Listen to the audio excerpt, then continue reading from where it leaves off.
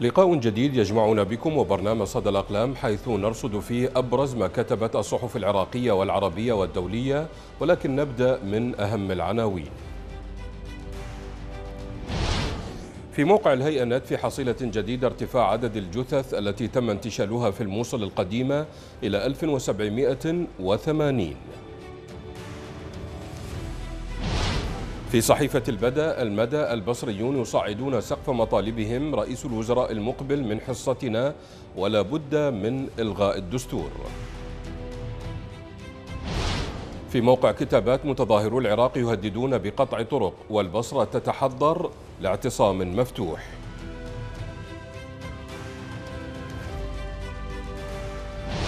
في موقع الجزيرة نت الرئيس الفنزويلي يتهم أمريكا وكولومبيا بمحاولة اغتياله.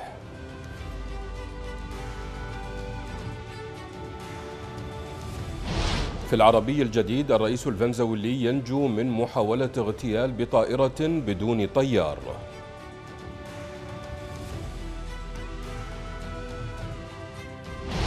في القدس العربية العباد يقترب من ولاية ثانية لرئاسة الوزراء.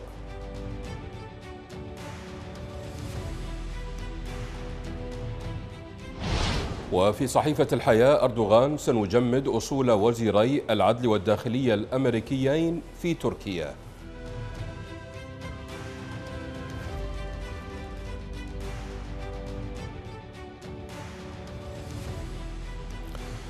السلام عليكم. استمرار التظاهرات وتصاعد مطالباتها بتوفير الأمور الخدمية إلى إزالة العملية السياسية وتغيير الدستور دون خوف أو تردد.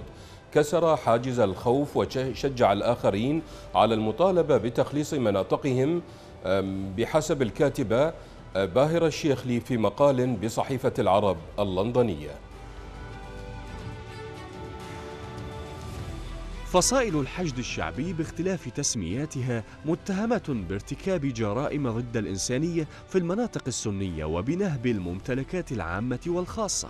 مما جعل عشائر سامراء تعلن أن سرايا السلام التابعة لمقتدى الصدر إذا لم توقف تجاوزاتها وتترك المدينة فسيكون للعشائر موقف آخر. ولم تستطع الحكومة مواجهة التظاهرات المتواصلة وتصعيد سقف مطالبها من أمور خدمية إلى إسقاط الدستور والعملية السياسية بعمليات استدعاء من يسمون أنفسهم شيوخ عشائر هدفهم الاستفادة من هبات الحكومة وامتيازاتها. إذ أصبح هؤلاء غير محترمين في مدنهم وبات تأثيرهم ضعيفا جدا. إن استمرار التظاهرات وتصاعد مطالباتها من توفير الأمور الخدمية إلى إزالة العملية السياسية وتغيير الدستور علنا ومن دون خوف أو تردد ومواجهة المتظاهرين للدروع العسكرية بأجسادهم العارية ومنع تقدمها كسر حاجز الخوف وشجع الآخرين على المطالبة بتخليص مناطقهم من إرهاب الميليشيات. بهذه العملية التي حدثت في شمال بغداد في قضاء الدجيل انكشفت أوراق اللعبة التي تمارسها إيران عبر ميليشياتها المسلحة في العراق فقد ثبت أنها تستهدف العرب في العراق سنة كانوا أم شيعة ولا تتورع عن ضربهم كما ضربت أبناء المناطق السنية. وعززت هذه العملية الاعتقاد المتنامي بين العراقيين بأن الميليشيات ستخرب مناطق الشيعة بعد فراغها من تخريب المناطق السنية. وبحسب الخبير الأمني والضابط في الجيش العراقي السابق حسين الكلاك فإن الطبقة السياسية الحاكمة لا يهمها الشعب سواء كان من مذهبها أم لا. بقدر اهتمامها بالمنافع والعمولات التي تحصل عليها من المناصب التي تتبوأها بحسب الكاتب.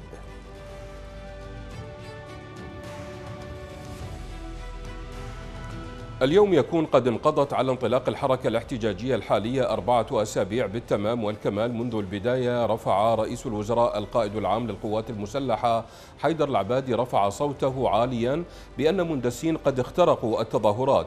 ومثله ردد كالببغاء بلهجة يقينية عدد غير قليل من أفراد حاشيته من المساعدين والمستشارين ومن قيادي ائتلاف النصر وقادة أحزاب وميليشيات وأعضاء في حاشيتهم فضلا عن قيادات أمنية اتحادية ومحلية ومحافظين ورؤساء وأعضاء مجالس محافظات ممن استشعروا الخطر بحسب الكاتب عدنان حسين في مقال نشرته صحيفة المدى عن التظاهرات الشعبية في العراق.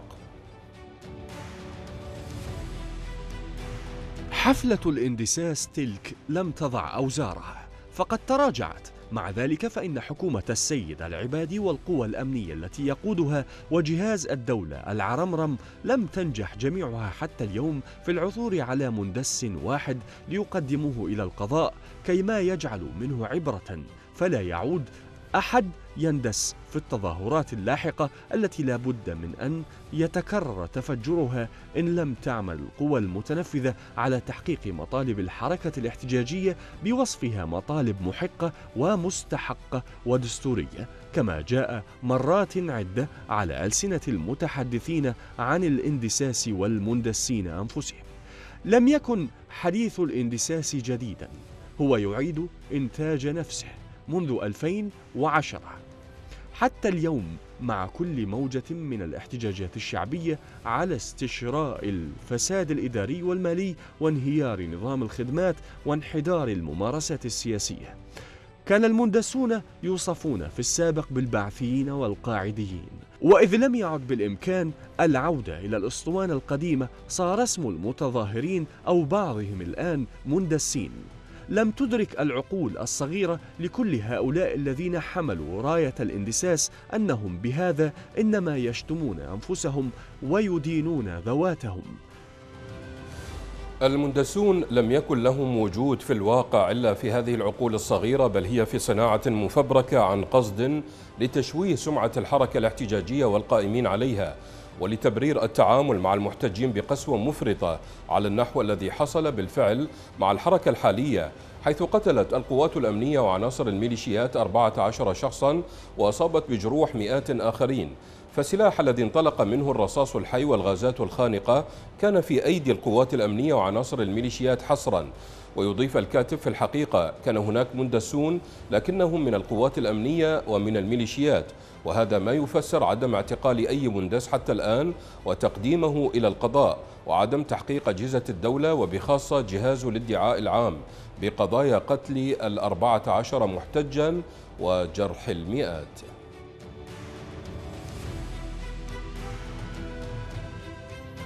لو نظرنا إلى الخارطة الجغرافية العالمية لوجدنا دولا تعيش حالة الرفاه والسعادة مستوى الدخل عالي جدا. مستوى الخدمات جيد حصانة المواطن موجودة درجة الفساد تكاد تكون معدومة. في حين على الجانب الآخر هنالك بلدان على درجة عالية من الفقر والعوز. تعيش شعوبها وضعا مزريا. بلدان تكاد تكون متخلفة بكل معنى الكلمة. تعاني شعوبها الحرمان والجهل والتخلف.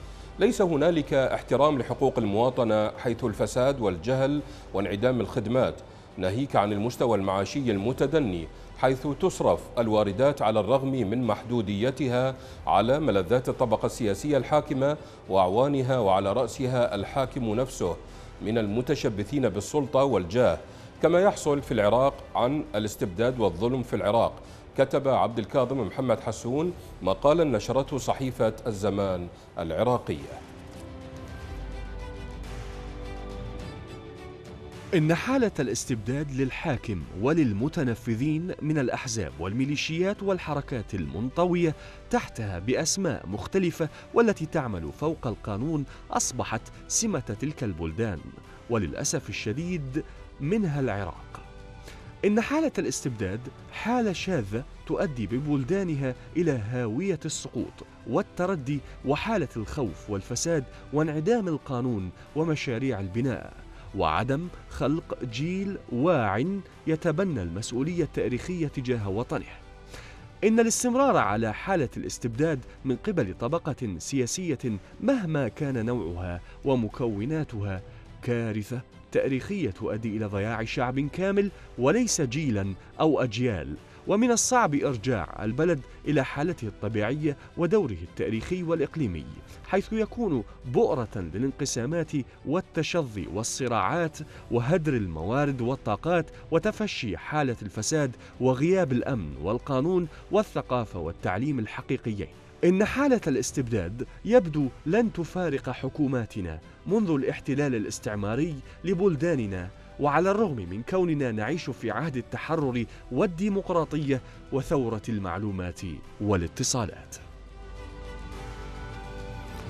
هنالك بلدان تمتلك كل مقومات البناء والتطور والازدهار لتوفر كثيرا من العوامل فيها منها ضخامة الموارد الطبيعية والبشرية وجودة المناخ والموقع الجغرافي ووجود الخلفية التاريخية التي تمتاز برقي الحضارة إلا أن تلك البلدان تعيش حالة شاذة غير طبيعية غارقة في حالة من الفساد والتسلط والقهر والتي تبنى على الفردية والتسلط والقهر أو الديمقراطية التوافقية حيث الحروب آه، تأكل الشباب وتهدر الموارد وتخرب.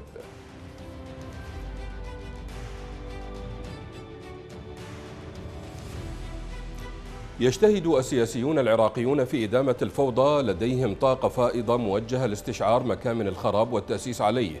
كيفوا أنفسهم على التنفس جيدا وسط العواصف الرملية وأبخرة الإطارات المحروقة. ورائحة البارود حتى أن فرضية الأجواء النظيفة باتت تشعرهم بالخطر يعرفون المواسم ويجيدون التعامل مع بذرها وحصادها. ومع أن تزامن موسم تشكيل الحكومة مع موسم التظاهرات التموزية قد يبدو للوهلة الأولى وكأنه يهددهم لكن واقع الحال أن قدراتهم الفذة على ابتكار الحلول والتكيف مع المخاطر تمثل حالة فريدة جديرة بالدراسة بحسب الكاتب مشرق عباس في مقال بصحيفة الحياة. لم يكن مفاجئا أن يتراصف السياسيون مع اشتعال فتيل تظاهرات البصرة لاتهام الشباب المتظاهرين بأجندات خارجية وبالتخريب والبعثية والداعشية والماسونية. ولم يكن غريبا أن تتحول مواقفهم بعد أيام في اللحظة التي أعلن فيها المرجع الأعلى علي السيستاني دعم التظاهرات. فيتقافزون إلى الشاشات لإعلان تضامنهم مع الثائرين يلعنون الفساد وأهله ويتصدرون المعارك ضد الحكومة التي لم تنجح في توفير الكهرباء.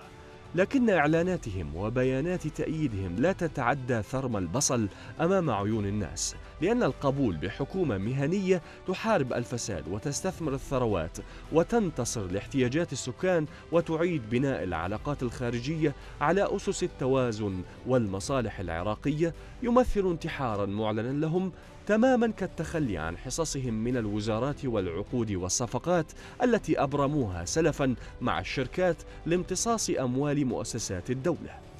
محنة كبرى أن يرتبط خروج العراق من فخ العوز والتخبط والفوضى بانتحار معلن وإرادي لأحزاب تعيش على المحن. ومحنة أكبر أن يراهن زعماء الكوارث على أن الفوضى ستستمر إلى الأبد. وأن الاحتجاجات ليست رسالة تحذير شعبية واعية بطعم الدم المراق في ساحات التظاهر بل مجرد نزوة تموزية طارئة. يلبسون أقنعة الديمقراطية يشتكون من تعرض إرادة الشعب للتزوير ويتباكون على سرقة أصواتهم ويصوغون الخطابات الكبرى عن العراق الذي تبتلعه مافيات الحروب. وعن زملائهم الذين استولوا على حقوق الشعب وعن الفساد وقانون الانتخابات غير العادل. لكن الموسم لم يدم طويلا فسرعان ما صمتوا لافتتاح موسم زيارات التشاور لتشكيل الحكومة. صبغوا شيباتهم وارتدوا بدلاتهم الباهظة. لم يضطروا إلى تقديم الاعتذار لبعضهم البعض. على الأقل حول حفلات الشتائم والاتهامات التي حفلت بها الشهور الماضية فثمة اتفاق عام بأن الموسم عندما يبدأ يجب ما قبله.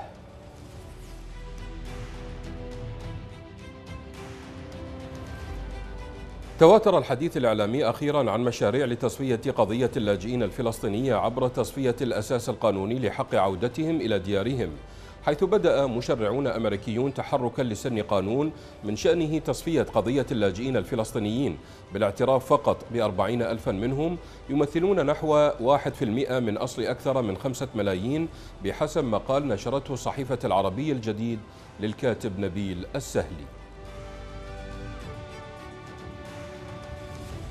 جنبا إلى جنب مع المسعى الأمريكي الإسرائيلي لشطب حق العودة عبر تغييب الأساس القانوني.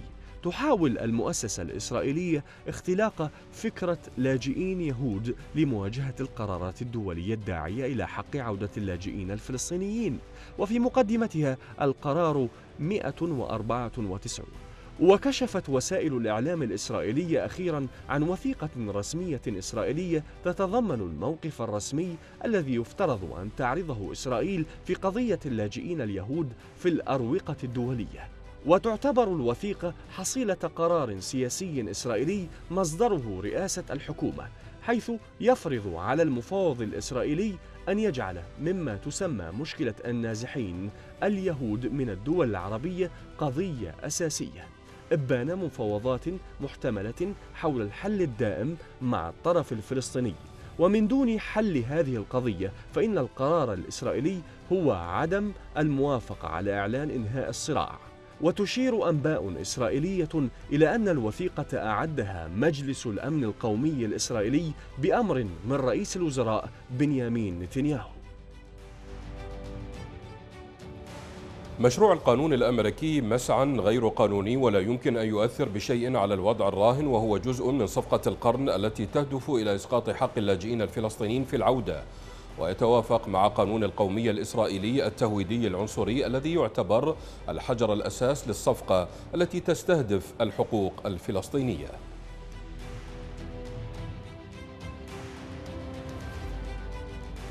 لا أدري فعلا لماذا يبذر الأمريكيون أموال دافعي الضرائب على إذاعات وتلفزيونات وصحف ومجلات ناطقة بالعربية إذا كان العديد من وسائل إعلامنا الفنية والسياسية والثقافية تتهافت على إطلاق القنوات الفضائية وإنفاق الملايين عليها لنشر القيم والنماذج الأمريكية بلسان عربي ووجوه وأقلام عربية بالأرطال على حد وصف نزار قباني.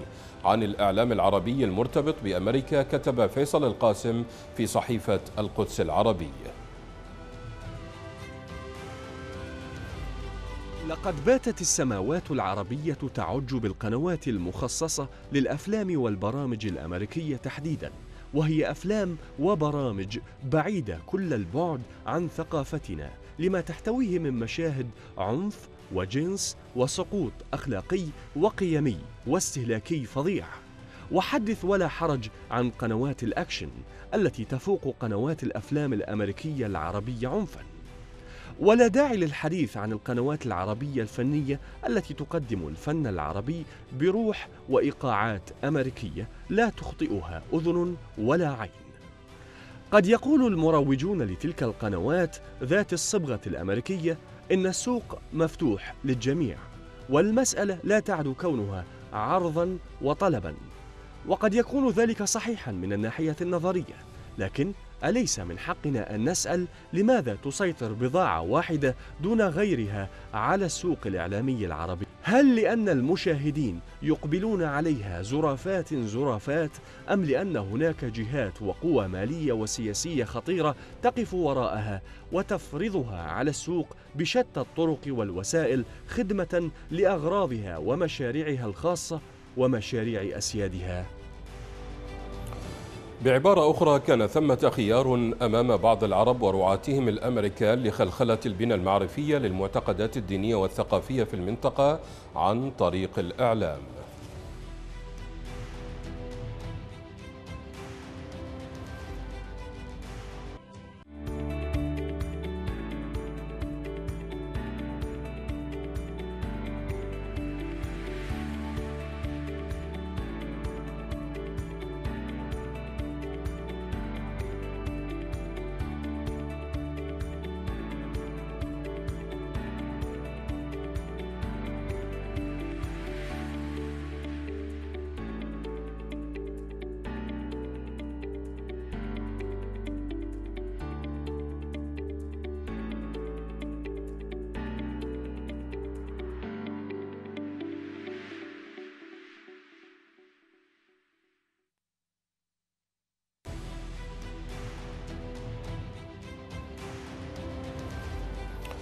نجحت شركة صينية في ابتكار أصغر مكيف هواء في العالم الذي يعمل على تلطيف الهواء في الغربة بشكل في الغرفة آه، بشكل ممتاز رغم أبعاده الصغيرة.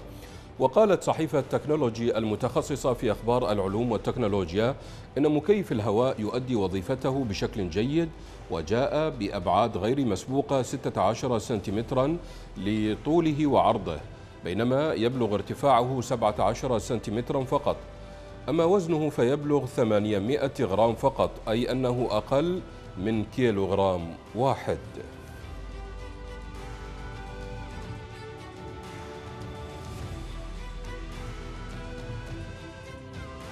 الرسوم الكاريكاتورية لها أسلوبها الخاص في وصف الأحداث حول العالم.